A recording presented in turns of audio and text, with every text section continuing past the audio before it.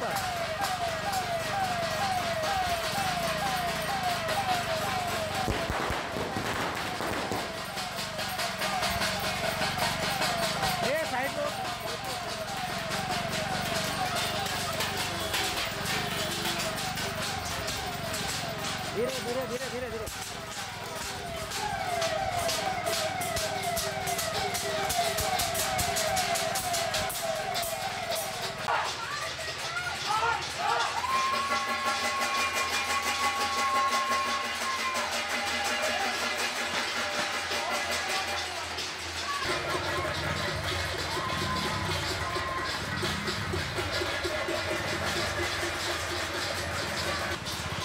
बिल्कुल धीरे धीरे। बिल्कुल धीरे धीरे।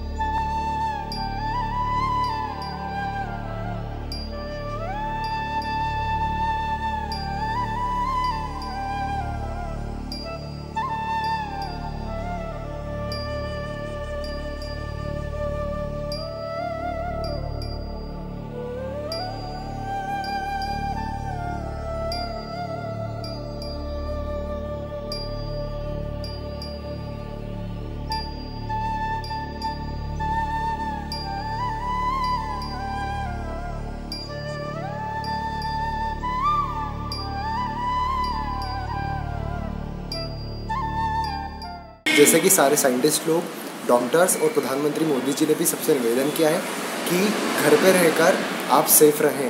क्योंकि हम सभी को पता है कि कोरोना वायरस एक संक्रामक रोग है जो फैलने से और ज़्यादा फैलती है। तो ये जो हम लोगों ने एक पहल की है, सारी जनता ने पहल की है कि स्टे होम स्टे सेफ़ बहुत अच्छा है। हम सभी को पता है कि इटली में भी एक महीने पहले ऐसा ही हुआ था, लेकिन उन्होंने सावधानी नहीं बरती, इसलिए हर दिन अब 600 से 700 लोग मर रहे हैं। इंडिया के पास में टाइम है, वो सावधानी बरतें और हर हर सैटरडे संडे या जब भी वो अपने अकॉर्डिंगली वो ऐसे जनता कर्फ्यू लगाते रहें, घर में रहें और सुरक्षित रहें।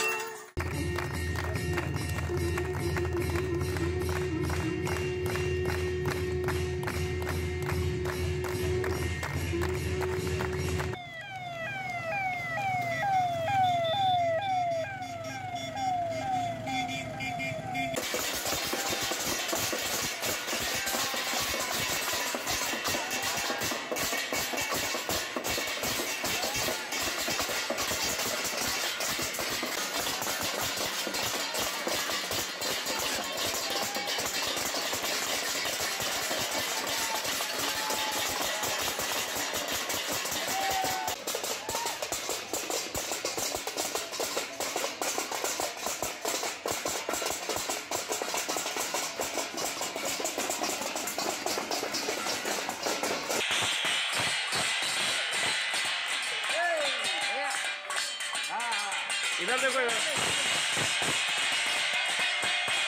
ज़ोर से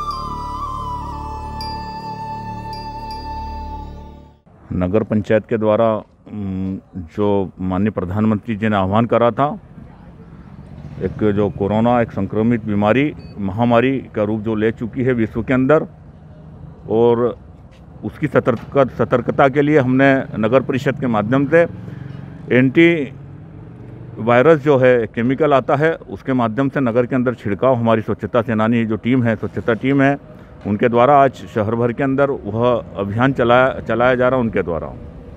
कलेक्टर साहब के द्वारा पूरे ज़िले को लॉकडाउन घोषित किया गया है। आप नगरवासियों को क्या संदेश देना चाहेंगे? नगरवासी में आप देखेंगे कर्फ्यू जैसा जैसा कि जैसे प्रधानमंत्री जी ने आह्वान करा था कि जनता कर्फ्यू तो हम देश भर के अंदर मीडिया के माध्यम से देख रहे हैं और आप सभी यहाँ पर मीडिया के बंधुवर उपस्थित हैं। पूरा शहर एक एक, एक चप्पा यहाँ पर बंद है पूरा समर्थन है एक महामारी से लड़ने के लिए।